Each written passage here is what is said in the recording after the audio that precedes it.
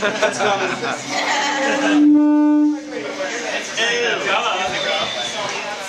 This is called Shitting is Gold. No, it's not. It's called Oregon Farm. Ah, this is called Oregon Farm. You're a man selling them on the black market.